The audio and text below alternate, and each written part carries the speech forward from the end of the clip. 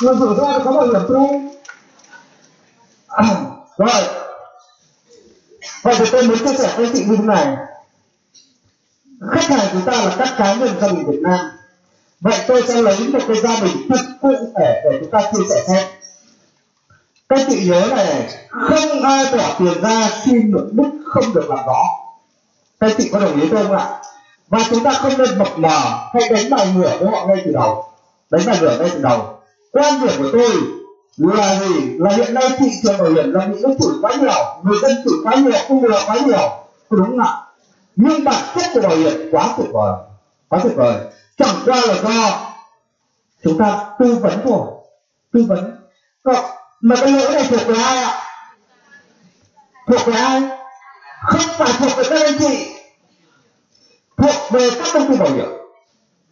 Được chưa? Giáo trình tôi đã viết rồi, thay đổi cái gì? Tôi đừng lý thuyết nữa cái mà chúng ta cần hiện nay, Mà khi đưa vào họ phải hướng dẫn xem ngồi trước mặt khách hàng này phải tư vấn như thế nào. Giáo trình nó đơn giản, nên càng họ càng không hiểu gì hết. Không không càng không hiểu, sản phẩm cũng không hiểu. Không đúng đây chị. Vì vậy chỉ cần thay đổi giáo trình bảo hiểm, đào tạo để cho nó phù hợp với thị trường việt nam được. Ok, thì cái này chưa được thì hôm nay tôi không có thời gian để chia sẻ với chị về kiến thức sản phẩm cái đó quan trọng lắm. Các chị biết tại sao hôm nay tôi không chia sẻ về đấy không? Không phải công ty khác nhau. Tất cả sản phẩm trong toàn ngành này nó chỉ có một nguyên lý rồi. Và cái nguyên lý này nằm trong livestream số một của tôi. Các chị hình chưa các chị về học lại cái đổi đó bởi vì nó có livestream rồi, thì tôi muốn là dành nhiều thời gian vào cái chuyên chuyên môn này hơn. Thì các chị hãy xem lại cái đó để tôi nói lại. Được chưa vậy thì, bây giờ quay trở lại nha. Tôi sẽ lấy một ví dụ, một cái gia đình cụ thể để chúng ta phải làm rõ với khách hàng ba vấn đề sau đây. Một, các chị đừng ghi, không cần ghi, nghe đã. Một, là chúng ta ngồi trước mặt khách hàng, chúng ta làm rõ ba vấn đề bởi vì nhân họ thực chất đối với cá nhân này và gia đình này ở chỗ nào? Nó có quan trọng hay không? Mà nếu quan trọng thì quan trọng đến mức độ nào? Chúng ta phải chứng minh được cho họ. Các chị minh ạ bởi vì nếu họ thấy rằng không cần, thì họ sẽ không tham gia. Được chưa cái thứ hai, tại sao họ phải tham gia? Và nếu tham gia thì tham gia bao nhiêu là vừa thì chúng ta phải tính toán và đánh bài nhỏ phải rõ ràng hơn. Bởi vì hiện nay chúng ta bán nhiều trường hợp là bán sai và bán chưa đủ. 8,2 triệu dân tham gia bảo hiểm. Nhưng thực chất chỉ có khoảng hơn 7 triệu gia đình là có hợp đồng. Nhưng 3 phần tư số đó là mua sai và chưa đủ. Mua sai đối tượng mua chưa đủ số tiền bảo hiểm cần thiết cho nên đó là cuộc giả chơi đó vâng, vì vậy đấy là cái sự thị trường chúng ta. Cái cuối cùng đó chính là khi họ tham gia họ được hưởng những quyền lợi gì và cái gì không được hưởng. Không phải là mua bảo hiểm cái gì cũng được hưởng. Chỉ có điều cách chúng ta nói như thế nào để cho hợp lý mà thôi ok chưa ạ? Thì bây giờ cách chúng ta học như thế này, tôi sẽ làm mẫu trước. Tôi sẽ làm mẫu trước. Sau đó tôi hướng dẫn các anh chị chi tiết tỉ mỉ bởi vì điều tôi muốn là các anh chị hiểu hiểu được cái hồn của nó. Hồn của nó để này. Được anh chị? Rồi, bây giờ thì đừng ghi chép. Được chưa chỉ nhìn thôi. Lát nữa khi tôi hướng dẫn thì chúng ta hãy ghi chép. Được anh chị? Không có mình sẽ được lại điều quan trọng các chị phải nhìn từng đường bút của tôi đi như thế nào. Tôi viết cái gì tôi nói cái gì. Được chưa tôi làm lát nữa tôi hướng dẫn sau ok đấy là cách để học. Được chưa thì bây giờ tôi lấy ví dụ một cái gia đình như thế này. Dạy, một gia đình thì thường có mấy người anh chị? Bốn người hả chồng. Giả sử ông chồng này khoảng 30 tuổi đi. Thu nhập. Thu nhập có dễ dễ xin không anh chị? Cũng dễ khoảng bao nhiêu? Giả sử 20 triệu đi. Được chưa các chị yên tâm thì nó tôi sẽ hướng dẫn biến luôn cung đen nhưng đây mới mình lấy ví dụ một cái gia đình thật để mình để bổ sẻ. Người vợ 25 tuổi, thu nhập khoảng sử là 5 triệu một tháng. Có hai người con con thứ nhất giả sử là 3 tuổi. Con thứ hai, cháu mới sinh và là không tuổi đây có phải là một gia đình cụ thể đấy chị. Ok. Vậy thì nhiệm vụ của ta đối với gia đình này chúng ta phải chứng minh được cho họ xem là cái gia đình này có cần bảo hiểm hay không. Có cần bảo hiểm hay không? Thì đấy là vấn đề, các chị nghĩ ạ vậy thì bây giờ này, qua cái thông tin gia đình này, tôi sẽ hình dung gia đình này trong một ngôi nhà như thế này. Các chị phải nhớ tôi một điều này nhá tại thị trường bảo hiểm Việt Nam, hiện nay người dân có dị ứng bảo hiểm không? Cho nên kỹ thuật chúng ta là làm thế nào? Chúng ta nói được bảo hiểm mà như không nói bảo hiểm. Được chưa nó giống như một cuộc trò chuyện thôi. Để đến khi mà họ thấy rằng họ biết là mình tư vấn về bảo hiểm, nói về bảo hiểm thì coi như mình phải tư vấn xong rồi. Thì đấy là vấn đề. Được các anh chị? Thì bây giờ các anh chị để ý xem tôi. Bởi vì người tư vấn giỏi nhất không phải là người nói nhiều nhất. Các anh chị minh chưa mà là người biết đặt câu hỏi giao lưu, trò chuyện. Được chưa ok, thì tôi anh chị được trò chuyện với anh chị một chút, đúng không tôi hỏi anh chị năm nay, anh năm nay bao tuổi? Anh đang công tác ở đâu? Họ các thu nhập đến lương khá cao, đúng không có thể khoảng bao nhiêu vật lý được không? Ở chị nhà thì mình bao nhiêu tuổi? Đúng không chị có mấy cháu rồi? Các cháu học lớp mấy? Ok lớp mấy thì ra tuổi không? Có đúng giải ra được sinh viên được không? Rất dễ. Ok, cảm ơn chị rất nhiều. Qua thông tin chị cung cấp, em hình dung chị trong ngôi nhà như thế nào. Vâng, và đây là chồng. Đây là vợ và đây là hai cháu kết tinh tình yêu của gia đình anh chị. Được chưa và được qua cái thông tin của gia đình em hình dung trong ngôi nhà như này, thì anh chị có thể chia sẻ cái cảm nhận của mình về cuộc sống của gia đình mình tại thời điểm này như thế nào không? Thì theo các anh chị như nào? Tốt tạo ổn không? Ổn không anh chị? Vâng cảm ơn anh chị rất nhiều. Tuy nhiên em xin hỏi anh chị, để có một cuộc sống tạm ổn ổn và hạnh phúc như anh chị vừa nói, thì thưa anh chị, từ đâu mà có? Liệu có phải tự nhiên những ngôi nhà này trên trời rơi xuống hay dưới hoặc đây không vậy theo anh chị, từ đâu?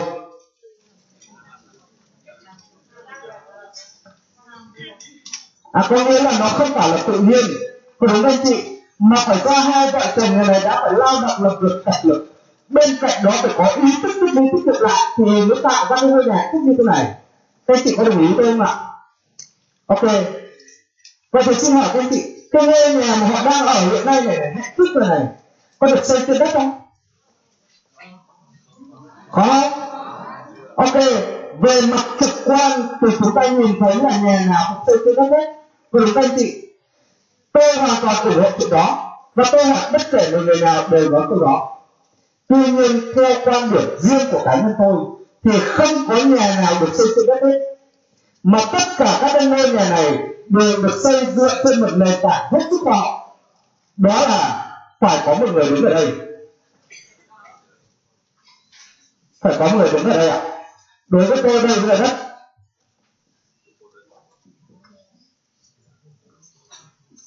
Đây là đất và có người đứng đây giang hai tay lên để đỡ cho đau đình như thế này tuy nhiên, hai cánh tay tôi vẽ ở đây không phải bằng xương bằng thịt như tay của tôi. Bởi vì tay của tôi thì rất bé, đôi năm mươi cạnh được nên người tôi chắc chắn gãy. Cô không nhỉ? Có ai đủ khả năng đỡ tất cả bà bạn hai đứa con đỡ như này không anh chị không. Đúng ạ. Ok. Em, đã bao giờ được chồng bế này chưa? Chưa như đã được đối bao giờ chưa?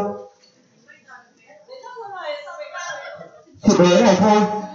Hoặc đối này từ cửa đến giường nó mới chết được không không thể ai đối được, các anh chị đúng chưa mà đôi tay tôi vẽ ở đây, nó chính là cái khả năng tạo ra thu nhập để cung cấp cho gia đình này. Được chưa và để chứng minh là cái nhà này không được xây trên đất, bây giờ tôi tạm gác vấn đề thu nhập của gia đình sang một bên. Tôi tôi không quan tâm đến gia đình này kiếm được bao nhiêu một tháng tôi chỉ muốn quan tâm là để duy trì được cái cuộc sống bình thường ổn định như gia đình này tại thời điểm này, thì chi phí tối thiểu một tháng là bao nhiêu? Cái chi phí đó bao gồm là ăn ở, đi lại, học thầy khám chữa bệnh, thông tin liên lạc thì không thể cười bỏ qua với tôi để trí tối thiểu nhất 10 triệu. Ok. 10 triệu như vậy, các anh chị có đồng ý với tôi, để có được cái cuộc sống gia đình ổn định hạnh phúc như vậy, thì không phải tự nhiên mà phải có 10 triệu để cung cấp ở đây hàng tháng. Có đúng không anh chị? Vậy nếu không có 10 triệu để cung cấp ở đây hàng tháng, thì cái gia đình này có tồn tại được không? Không. Nhưng cái khoản 10 triệu này có phải tất cả các thành viên trong gia đình này đều đi làm để mang về không anh chị? Không phải. Có đúng nhỉ? Mà chủ yếu là hai đứa trẻ thôi. À tôi xin lỗi. Hai vợ chồng nhà này thôi bởi vì hai cháu bé này phụ thuộc hoàn toàn. Tuy nhiên người vợ một kiếm 5 triệu đủ chi phí điện thoại điện nước ba cái lọc vào Và đồng không chị, rõ ràng toàn bộ tương lai cuộc sống của người này phụ thuộc vào nguồn thu nhập chỉ 20 triệu nghìn đồng vậy cho người tôi vẽ đây không ai khác trong gia đình này chính là người chồng. Tuy nhiên là ta lấy ví dụ là ông này, là ông kiếm 20 triệu nhưng thực tế trong xã hội của chúng ta hiện nay, có những gia đình không như vậy đúng chưa? Mà cái có những gia đình ấy, là vì có ông chồng cao to đẹp trai đi đến chụp cao tay hay như này thì cái tuổi trẻ của bạn, tuổi trẻ này cũng hoàn toàn không nhận thuộc về chồng. Thì cái người đấy không gọi là trụ cột đâu cái chị muốn chưa? Mà gọi là gì ạ? Là cụ thể có đúng không ạ? Ok. Cái người tôi vẽ đây là người chịu trách nhiệm chi phí cuộc sống gia đình mình, tức là kiếm tiền để nuôi sống cả gia đình. Được chưa? Ok. Đây là vấn đề thứ nhất. Người tôi vẽ đây không ai khác chính là người chồng trong cái ví dụ này là người trụ cột vậy xin hỏi các anh chị, cái khoảng 10 triệu mà cái người trụ cột phải cung cấp cho gia đình này có phải chỉ cung cấp một tháng không hay liên tục? Liên tục, có đúng không ok. Năm nay ông này là 30 tuổi mỗi một tháng cung cấp 10 triệu. Được chưa? Như các chị nói là liên tục liên tục vậy còn một năm có năm nào dưới 12 tháng không? Không có đúng không nhỉ? 12 tháng. Vậy theo anh chị, ông này phải cung cấp trong bao nhiêu năm?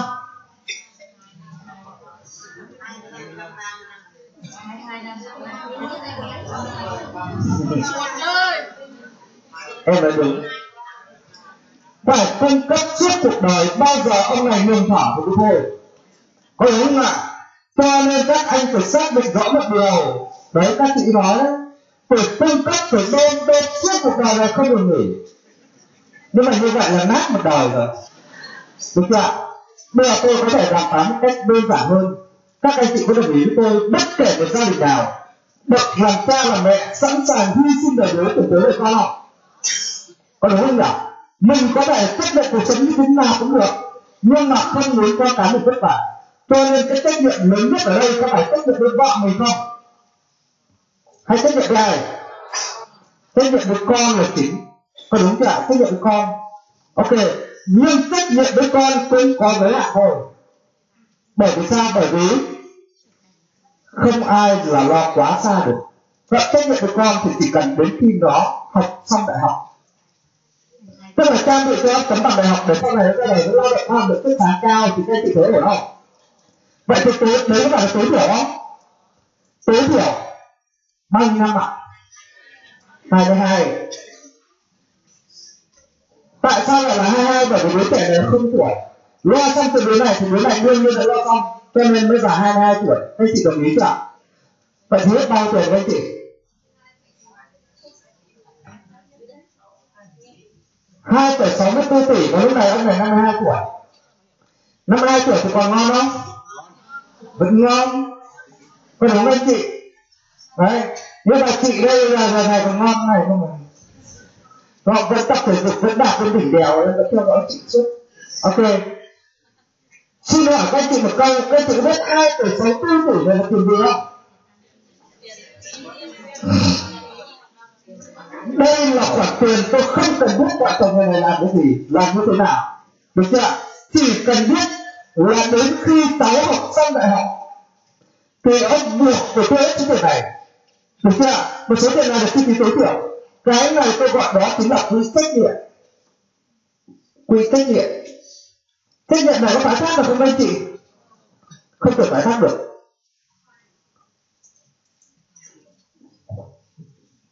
Cái tiếp theo. Đây chỉ là chi phí tối thiểu thôi. Nhưng điều chúng ta vừa mới nói đấy, chúng ta mong muốn lên năm 22 tức là muốn cho con cái để đi học. Nhưng theo các chị bây giờ mà không có tiền, có đi học được không? Vậy thì có cần phải những gia đình này, có cần phải chuẩn bị những mức quỹ giáo dục cho các cháu không? Ok. Năm nay đứa đầu là ba tuổi. Bây giờ học đại học hết bao tiền đây chị? Tối thiểu là 200 có đúng không nhỉ vậy thì đến năm 18 tuổi chúng ta cần phải chuẩn bị đó là 200 triệu. 200 triệu này là mục tiêu đặt ra nhưng nếu đặt ra mà không lên kế hoạch thực hiện thì theo anh chị có đạt được không? Vậy một cách rất đơn giản đó là lấy 200 triệu này chia đều cho 12 năm và chia đều cho các tháng à 15 năm và chia đều các tháng. Thì mỗi một tháng ông này phải tiết kiệm 1,1 triệu nhân với 12 tháng và nhân với 15 năm thì gốc nó sẽ ra số tiền này cộng với lãi nữa thì mới đủ nhiều cái tiền giá. Các chị đồng ý tôi không nhỉ? Ok. Nhưng mà đối đầu có, đối thứ hai không có có được không? Không. Vậy phải lập tiếp vào cái quỹ giáo dục cho đứa thứ hai nữa. Đợt năm nay đứa thứ hai này là không tuổi. Đến năm 18 cũng cần 200 triệu. Nhưng do thời gian tích lũy của nó, không phải dài hơn đâu anh chị. Tôi nó chỉ cần đó là lấy 200 mà chia dài cho 18 năm và chia đều các tháng. Thì mới một tháng nó cần 900 nghìn rồi tiết kiệm 900 nghìn nhân 12 tháng nhân với 18 năm. Thì nó sẽ ra số tiền này cộng với lãi nữa. Thì sẽ lo xong cho gia đình này. Vậy bây giờ tôi muốn hai cái quỹ này tôi gọi đây là quỹ gì ạ? Quỹ giáo dục. Vậy bây giờ tôi muốn hỏi các anh chị, nếu một gia đình họ thực hiện được cái kế hoạch chi tiêu và tiết kiệm như thế này, thì theo các anh chị, gia đình này có yên tâm không? Yên tâm được quá yên tâm. Và các anh chị thấy cái kế hoạch này có gì quá khoe sang xa xỉ lãng phí hay rất bình thường vậy có phải là quá bình thường không? Nhưng mà các gia đình việt nam có muốn thực hiện được không? Không ai là không muốn thực hiện. Có đúng anh chị? Chỉ có điều để thực hiện nó có dễ không? Và có cần điều kiện gì không? Có cần không anh chị? Nó phải có điều kiện. Điều kiện đó là ngày hôm nay cũng phải giống như ngày mai, giống như tất cả các ngày sau đó. Thời tiết phải rất đẹp. Người này vẫn phải khỏe mạnh, vẫn phải đi làm, vẫn phải tạo cái thu nhập và vẫn phải có ý thức mới thì mới mới thực hiện được. Các chị có đồng ý không nhỉ? Tuy nhiên xin hỏi các anh chị, ngày mai có phải là gần chúng ta nhất không? Nhưng có ai biết ngày mai chúng ta như nào? Không có ai biết sáng ngày mai bước trên đường rẽ bên trái bên phải của ai không? Không biết. Có đúng chưa ok. Vậy giả sử một năm có bao nhiêu ngày đây chị? 365 ngày. Trong đó 364 ngày thì thời tiết là sao rất đẹp. Đúng không trong đó có một ngày bất ngờ là mưa bão đã đến. Nó mang theo dân tố dân tố sống chết được chưa nó lo luật pháp bước xuống ở đây cắt ngang kế hoạch đi tiêu này với hai chữ đó là rủi ro. Cái rủi ro này có ai người lên anh chị? Mà rủi ro đấy có báo trước không? Không báo trước. Còn đúng anh chị, chúng ta không lường trước được. Cái nguyên nhân lớn nhất của cái rủi ro này mới có hai nguyên nhân chính thứ nhất là do tai nạn. Theo các anh chị, có ai dám chắc sáng ngày mai chiếc xe đi làm. Sau đó bị một cái xe khác nó đâm vào ngã cá tuổi quần chúng ta như thế không? Không, cô nói anh chị, có thể ngã một cái tuổi quần đi tiếp, nhưng cũng có thể ngã một cái thì vĩnh viễn không còn cái có này nữa. Cô nói anh chị, ở đây có ai chưa bao giờ ngã không? Có không? Ai cũng ngã hết rồi.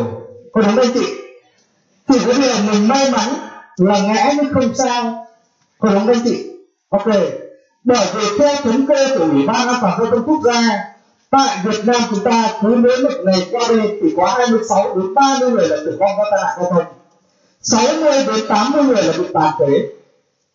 Các chị minh giảm tuy nhiên, con số thống kê đáng sợ nhất là 65% số những người bị tai nạn giao thông lại rơi vào chính người trụ cột này, các anh chị ạ. Chính là những người trụ cột này hay nói đúng hơn, cứ mỗi một ngày qua đi Việt Nam chúng ta có 65 gia đình mất đi nguồn thu nhập chính ok, rất khủng khiếp. Mà đấy là thống kê còn tôi, thông tin con số thống kê lắm. Không?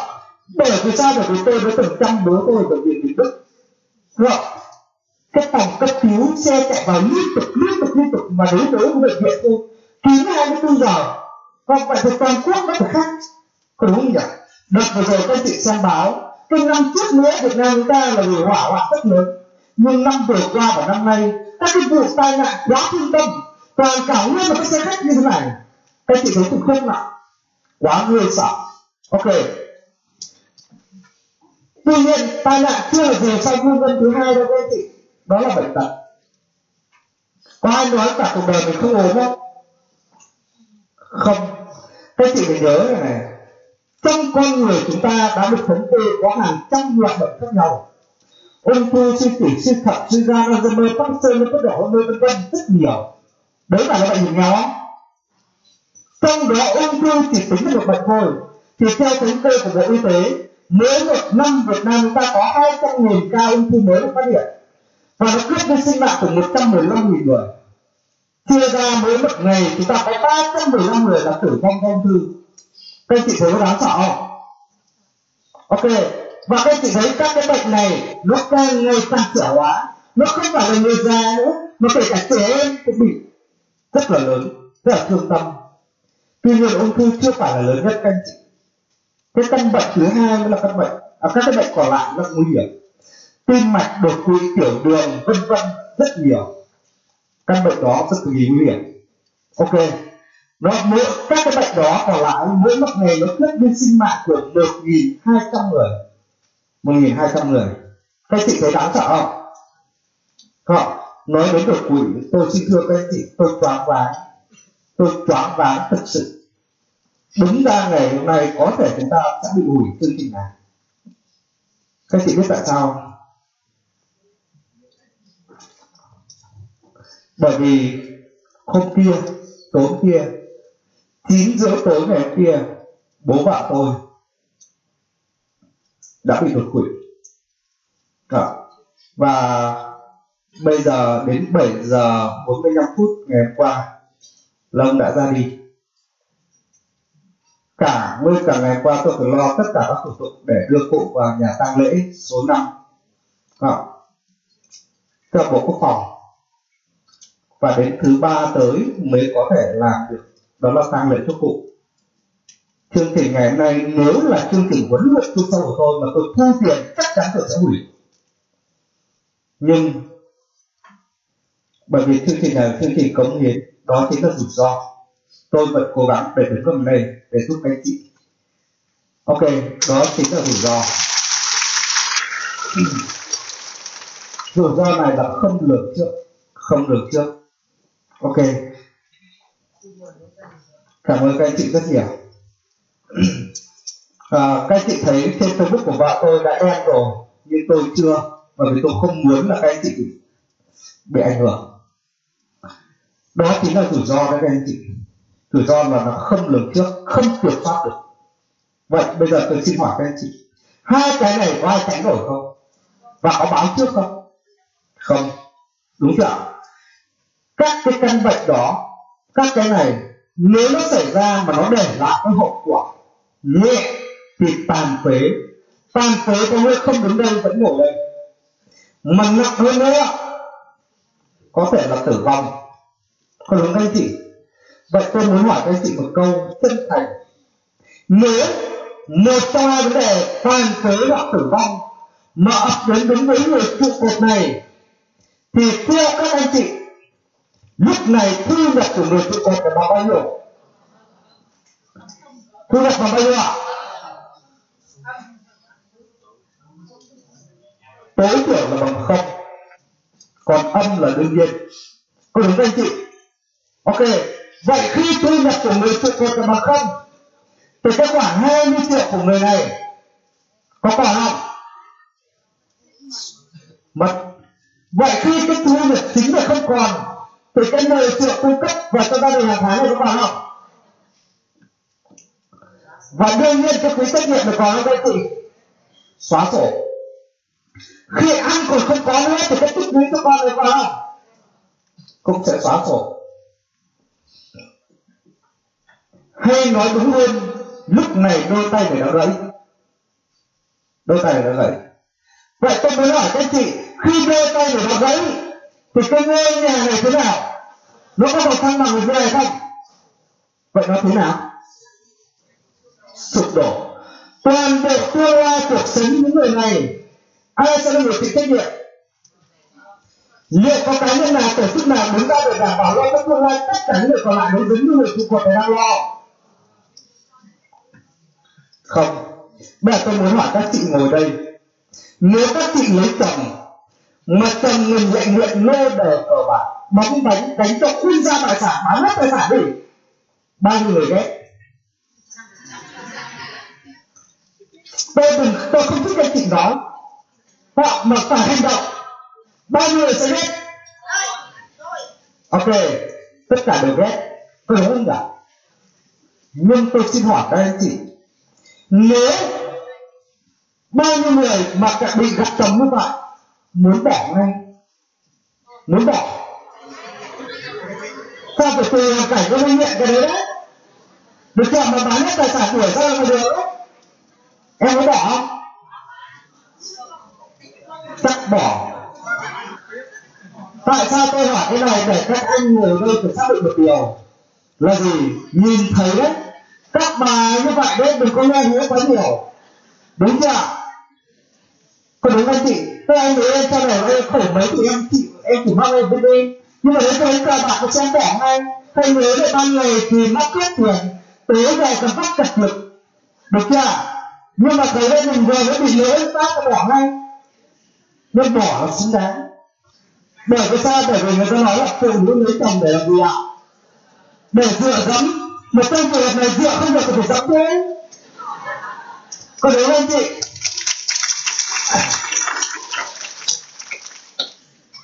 Tuy nhiên, tôi lấy giả sử, nếu chúng ta đó với tấm lòng bao dung mà mình không bỏ luôn, và khuyên can lại và người này tỉnh ngộ lại, thì theo các chị có cơ hội lại không? Có. Nhưng mà đương nhiên chúng ta vẫn còn làm được có đúng không thậm chí các anh chị có công nhận với tôi là có luật chi tế của đánh bạc không? Có. Có đúng không có cơ rõ ràng một canh bạc mà có cơ hội làm lại mà còn có cả luật chi tế mà ai cũng biết có đúng vậy tên bạc đó tôi gọi là tên bạc lôi về của bạn. Nhưng có một tên bạc khác, tôi gọi đó là bạc cuộc đời. Đó là cái người này này, lấy toàn bộ tương lai cuộc sống của những người thân này đánh tay bạc với chính sức khỏe của mình. Tôi lấy ví dụ bản thân tôi đi, cứ gọi là người trụ cột trong gia đình. Theo các chị nếu tôi khỏe mạnh, tôi vẫn cứ đi làm, vẫn cứ hát, vẫn cứ nói, vẫn cứ vẽ như này. Theo các chị gia đình tôi yên tâm không? Yên tâm. Nhưng bảo tôi đi nhiều thì không biết đứa nào. Biết đâu một ngày gặp rồi còn đúng không chị, các vị đi ở đường, tự nhiên nghe tôi dầm một phát, tôi chỉ quay ra nhìn thấy gương mặt này đó là cái xe nó cán phát nát hết nằm đây rồi ok, thì theo các chị, tôi còn cơ hội lại không? Tôi không còn cơ hội lại nữa. Vậy thì lúc này tương lai và con tôi ai sẽ người chịu trách nhiệm có không? Không ai lo hết, nếu có lo thì lo cho bà vợ thôi. Nhưng với một cái tá tự sinh được chưa còn con mình nó có lo không không có đâu. Tôi là, nó đánh đứng nó nhà các kiểu. Ở đây có, tôi hỏi các anh, có anh nào thích con mình gọi người khác là bố. Không không đúng không nhỉ ok, vậy có trách nhiệm thôi. Đúng chưa? Rõ ràng khi đã tử vong hoặc tan phế thì không bao giờ có cơ hội lại nữa. Nhưng thực tế hiện nay, các anh chị có thấy xung quanh xã hội chúng ta này, trong xã hội chúng ta này. Có nhiều gia đình lấy toàn bộ tương lai của tay mình để kết bạn với cuộc đời này không? Bất ngờ đưa tay với xuống, không có cô gái nào bảo vệ không có đúng không? vậy cân bạc nơi đời của bạn ai biết không? Thì cái cân bạc cuộc đời này đáng cái gì? Đáng trân trọng à có đúng anh chị? Ok. Cái này là cực kỳ nguy hiểm và đây chính là lý do họ, chúng ta mới chia sẻ với họ. Vậy theo anh chị, khi bất ngờ đưa tay lấy xuống, chị biết làm cái gì?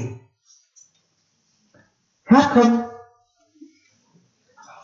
Có đúng không ạ? Không làm cách nào. Vợ lúc này chỉ hát đúng một câu thôi. Anh nói sẽ đưa em đi suốt cuộc đời, mà sao không đưa được đoạn đưa em đi? Có không anh chị câu cứ làm sao được? Vậy bây giờ tôi mới hỏi vợ chồng người này. Vậy theo bạn, nếu bất ngờ mà cái gia đình này mở cái đôi tay mình vẫn xuống, thì đã có phương án nào để đảm bảo tương lai những người này chưa? Có chưa? Ok. Họ chắc chắn là chưa. Và đây mới chính là lý do tại sao ngày hôm nay tôi với vai trò người tư vấn bảo hiểm với họ, tôi đến với gia đình bạn và muốn chia sẻ, muốn trò chuyện, muốn bàn bạc và muốn khuyên bạn không nên đánh canh bạc này, mà ngay từ lúc này bên cạnh đôi tay của đã khỏe mạnh, hãy dựng thêm một đôi trụ nữa ở đây. Dựng thêm đôi trụ nữa ở đây.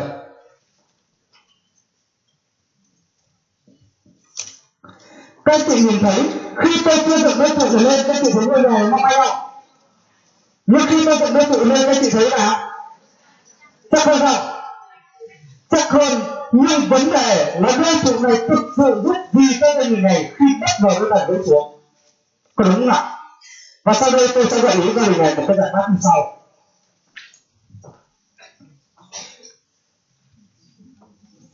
Ông này năm nay 30 tuổi. Thiết kế một cái giải pháp đó là UE UL bảo vệ đến 99 một tỷ.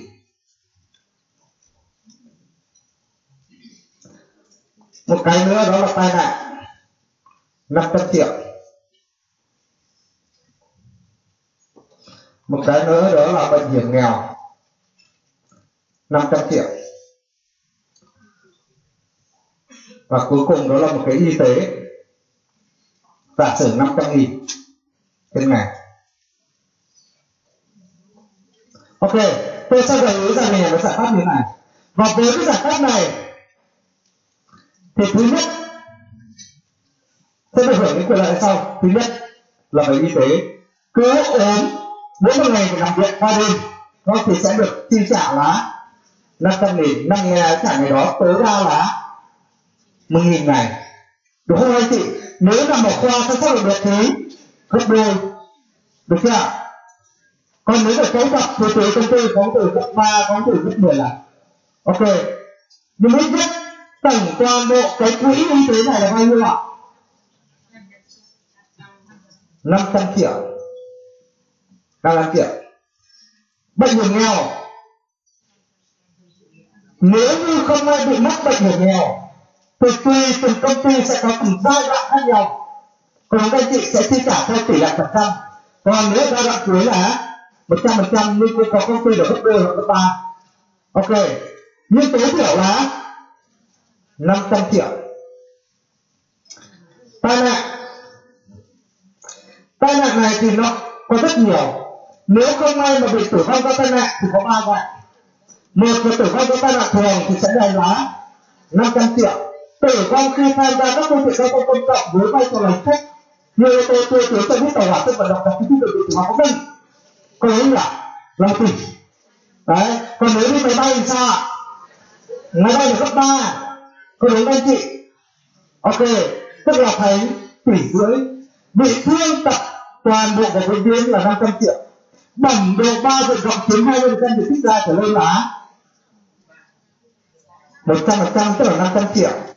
Được chưa rồi là thương tật bộ phận bệnh viện, tay tính từ đất có tay của đi hay chúng tật tạm thời cũng quả. Tiền nó sẽ có bản tỷ lệ thậm chí là nằm viện cũng được chi trả. Còn đúng anh chị. Như vậy tối đa cái này là 1,5 tỷ. Và đương nhiên khi đã có tử vong do tai nạn thì phải một thứ cái này đó đây là đây thì tối thiểu là một tỷ. Tuy nhiên có công ty sẽ là 2 tỷ. Các chị minh chưa Hangwala này rồi là ờ, uh, Ali các thứ đó có 2 tỷ ở đây chi được trăm hai phần trăm có đúng nhỉ? Ok. Như vậy tối đa của cái giải pháp này là bao nhiêu các chị 3,5 tỷ. Các chị biết 3,5 tỷ là tiền gì không 3,5 tỷ này chính là trị giá mà đôi triệu tôi đã dựng cho gia đình bạn. Được chưa tuy nhiên ở đây có những các quyền loại là khi nào xảy ra rủi ro mới định nhận. Các chị đồng ý không? Tôi lấy ví dụ cái quỹ y tế này chỉ khi nào mắc bệnh ốm phải nằm viện điều trị cũng được chi trả, các anh chị đồng ý tôi không vậy thì mình có phải lấy tiền này trả cho bệnh viện không? Vậy thì mình sẽ sử dụng cái tiền này trả cho bệnh viện để chữa bệnh cho mình, thay vì mình phải mất tiền túi ở nhà ra. Vậy tôi sẽ bỏ qua sang một bên tôi không tính các chị đồng ý chưa? Ạ tức là cái này tôi gọi nó rồi là để chi trả để chữa bệnh của mình. Bệnh hiểm nghèo cũng vậy. Khi nào mắc bệnh hiểm nghèo mới được trả, lấy tiền này trả cho bệnh viện, tôi cũng bỏ qua, không tính được được chưa tai nạn không phải lúc nào tôi làm mới đây. Đúng không ví dụ đi xe đạp bình thường này, mình phải cao tâm vào đấy tử vong bình thường. Có cái gì thấy số lượng người nhiều không? Quá nhiều. Vậy thì cái này nó không còn là một tỷ rưỡi nữa, mà chỉ còn là 500 triệu. Và đương nhiên khi đã tử vong do tai nạn như này cái này không vấn đề tối thiểu vẫn là một tỷ. Vậy mà bao nhiêu ạ? Một phẩy năm tỷ. một phẩy năm tỷ. một phẩy năm tỷ này giả sử như người bạn là không ngoan được tiêu đem toàn bộ số tiền này đầu tư kinh doanh hoặc là gửi ngân hàng. Giả sử ra một cái mức, đó là lãi suất một năm, khoảng 10% bằng bao nhiêu các anh chị? 150 triệu là tiền lãi của một năm. Chia trong 12 tháng thì mỗi một tháng có bao nhiêu các anh chị? Khoảng 12,5 triệu. Có đúng không anh chị? Vậy theo anh chị nếu cắt vào đưa tôi một cái xuống nếu ở gia đình được cấp thêm một khoản mỗi một tháng là 12,5 triệu. Vậy theo anh chị 12,5 triệu có đủ người cho các quỹ trách nhiệm và hai quỹ giáo dục cho ba hai đứa con được không? Đủ không? Và cái khoảng 1,5 tỷ mới còn đấy vẫn còn nguyên bởi vì mình chỉ sử dụng cái lãi thôi. Còn đúng anh chị? Nó phục vụ cho vấn đề tuyệt giá thì cũng có hưu trí của người nữa. Có đúng anh chị? Vậy theo các anh chị nếu mà cái gia đình này này họ được sở hữu cái giải pháp như này gia đình này có yên tâm không? Bao nhiêu người đây nghĩ rằng là họ cần họ ok cảm ơn các chị rất nhiều. À, cái giải pháp này họ rất muốn rất cần và rất yên tâm. Nhưng vấn đề ông có muốn có không? Lại ok. Để sở hữu toàn bộ giải pháp này, anh chỉ cần làm một việc cực kỳ đơn giản. Đó là mỗi một năm dành ra khoảng 20 triệu.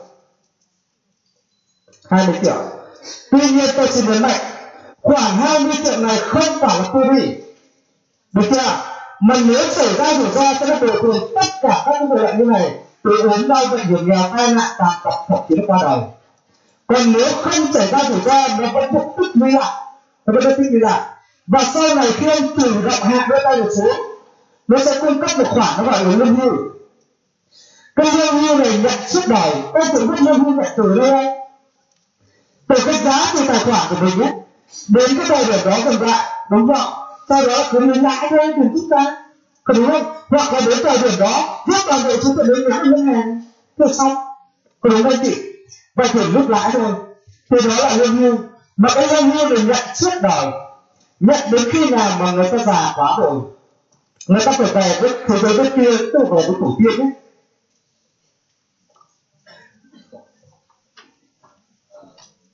thì họ vẫn để lại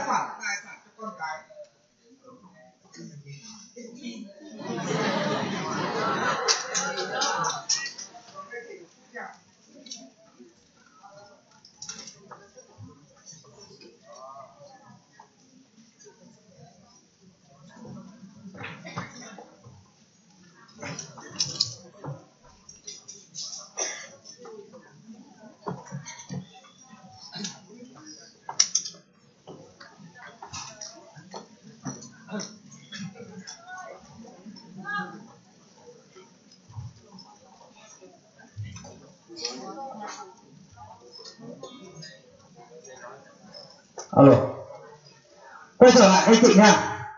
Họ vật cái lương hưu này nhận đến suốt đời luôn. Đến khi nào qua đời thì vẫn để lại một khối tài sản cho con cái để làm gì các anh chị? Để dạy cho nó có nhớ các anh chị. Các anh chị công nhận với tôi, trong cuộc đời này nếu sống thọ quá mà không có tiền, tôi ốm đau lây lắc cái đó? Con cái nó chăm sóc được không? Tùy nhưng có rất nhiều trường hợp các chị đồng ý tin là nó sẽ không chăm sóc. Không chăm sóc, thậm chí có những người nó sẽ kêu ca, ông ơi, sao không già đến chết quách cái ly ông sống lại để người khác khổ? Có đúng không chị? Có không? Và lúc này thì cái người con đấy, thế nào ạ? Thể hiện cái đó là bất hiếu. Nhưng mà người dân người ta chửi với con đấy là bất hiếu không? Mà chửi ai ạ? Chửi ra ông bố để không biết dạy con có đúng không chị? Như thế vậy thì theo các chị? Chết có nhắm mắt được không? Không đâu. Nhưng nếu lúc này, nếu nhìn thấy vẫn còn tỷ rưỡi hai tỷ ở đây, thì gì xảy ra? Nếu con mà nó hư như vậy, thì chỉ cần gọi hàng xóm tôi cháu ơi, ông không sống được bao nhiêu nữa, cháu đối tôi cắt cho ông ông có là phần này hơn hai tỷ. Đúng không ạ? Nếu ông qua đầu con lên công ty đó tôi nhận về, sau đó con mua cho những con tàu lâu con đám ma còn số còn lại con tiêu. Theo cái chuyện lúc này con cái nó có cho người khác vào không? Không, mà nó là phần trăm lúc này lại sao ạ. Ui anh ngồi sau số cỏ này, ông ốm đau này, hôm nay ăn gì mà sao đi càng nhiều càng hơn chứ? Có đúng không nhỉ? Vậy thì lúc này hàng xóm anh nhìn vào, các bảo sao? Có phải là có nghĩa không? Nhưng họ đâu biết là có tiền được chưa nhưng mà họ bảo chắc chắn là à, cái gia đình này biết giáo dục có đúng không chị. Cho nên các chị phải nhớ tất cả tài sản của bố mẹ đều là của con cái. Nhưng tài sản của con cái thì không phải là của bố mẹ. Có đúng chưa và quyền lực lớn nhất của người già chính là tiền. Đúng chưa vậy tổng hợp lại bảo hiểm chọn là gì? Nó phải là tiền được chưa hay nó thay thế với người trụ cuộc đời để đảm bảo tương lai những người này còn nếu là trong trường hợp người này mất sớm thì nó nuôi tất cả người thân. Còn nếu trong trường hợp già quá thì quay trở lại nuôi chính mình. Còn đúng anh chị? Ok, nó rất đơn giản với tôi và thì nó sở hữu chưa vậy bây giờ tôi muốn hỏi lại. Tiếp. Cái khoản 20 triệu này, nó có quá lớn để mà sở hữu toàn bộ cái giải pháp này. Thì cái chi phí cái 20 triệu, mà không phải là chưa đi này nó có quá lớn, quá ảnh hưởng đến cuộc sống người hay không? Nó chỉ là một tầm cực kỳ nhỏ. Bây giờ các chị công nhận với tôi là thu nhập của gia đình là một tháng là 25 triệu không? Đúng không ạ? Nhân với 12 tháng trong một năm họ có thu nhập là 300 triệu. Có đúng không chị? Và bình thường trước khi tôi đến với đây này để dựng chọn đối tượng này. Các chị công nhận với tôi là họ vẫn kiếm được, vẫn đầu tư, vẫn kinh doanh, vẫn tiêu, vẫn hết ạ nhưng vẫn đánh cái bạc này không nhưng bây giờ tôi đến tôi sẽ chọn cái đối thủ này. Được đối thủ này. Họ có kiếm ra số tiền được không? Đương nhiên, chỉ có điều thay vì tiêu hết cho các cố tôi chỉ khuyên họ tích từ ba trăm triệu ra có hai mươi triệu thôi mà. Chiếm bao nhiêu phần trăm? Bảy phần trăm. Vậy tôi sẽ khuyên họ giữ lại phần lớn 93 phần trăm từ cái cũ, còn lại 7 phần trăm chuyển qua bảo hiểm để sở hữu các đối thủ này để đảm bảo tương lai thế này. Hãy đến đứng lên. Ngày hôm nay với vai trò người tư vấn bảo hiểm tôi đến với gia đình bạn không phải là khuyên bạn tiêu tiền gì mà chỉ là khuyên bạn cơ cấu lại thu nhập để có lợi nhất mà thôi. Ok. Theo các chị khó không? Vậy nếu là như này, bao nhiêu chị ngồi đây nghĩ rằng cần phải xử lý nó tất cả. Vấn đề là chúng ta đi tư vấn cho khách hàng, chúng ta có làm rõ như này không?